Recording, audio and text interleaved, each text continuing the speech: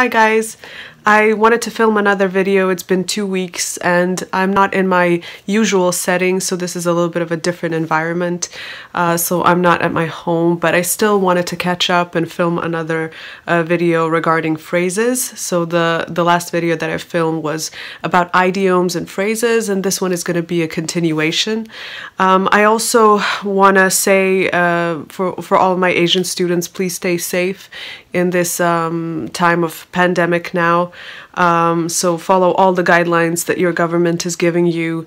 Um, if you know English, uh, now is the time to use it.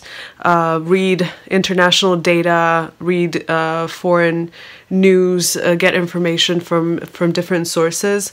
Um, English, of course, should be used in much happier times, but again, um, in the time of crisis, again, you can use your English to get informed. So without further ado, let's go into the phrases or idioms actually. So for the, today's video, I have a few idioms here. The first one is your guess is as good as mine. So this is commonly used when you want to say that you agree with somebody, somebody because you don't have any other information. So I know as much as you, basically. Um, the next one is you can say that again. Uh, this one is used to confirm other person's information. So um, if you agree with somebody, you say you can say that again, uh, which means um, I support fully what you're saying. So if you hear any noise in the background, this is the old computer making um, some sounds. Um, okay, the next one is uh, wrap your head around something. Uh, this is usually a very um, exciting information or very troublesome information that you cannot fully understand. Uh, it's basically like wrapping your mind, wrapping your thoughts around an idea that is not uh, fully understood by you. So um, it can be a, a positive and a negative idiom. So the next one is to make matters worse. Uh, this is basically something that is coming into the situation that is additionally making the situation worse. Um, and sometimes you can make the matters worse by saying something or doing something. So the next one is to get bent out of shape. Um, this basically means that something is so hard for you um, that you basically have to do more than you can and you get bent out of shape because of that reason. So far, so good. This means for now, um, the situation or um, the project that you're working on is uh, okay. Um, the next one is pull yourself together. This is uh, very useful for the whole situation that we are in now.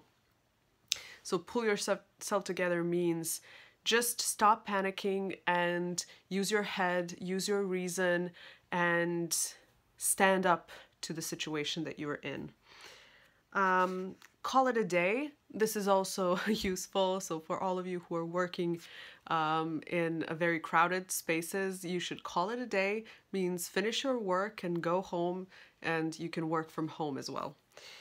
Um, wouldn't be caught dead.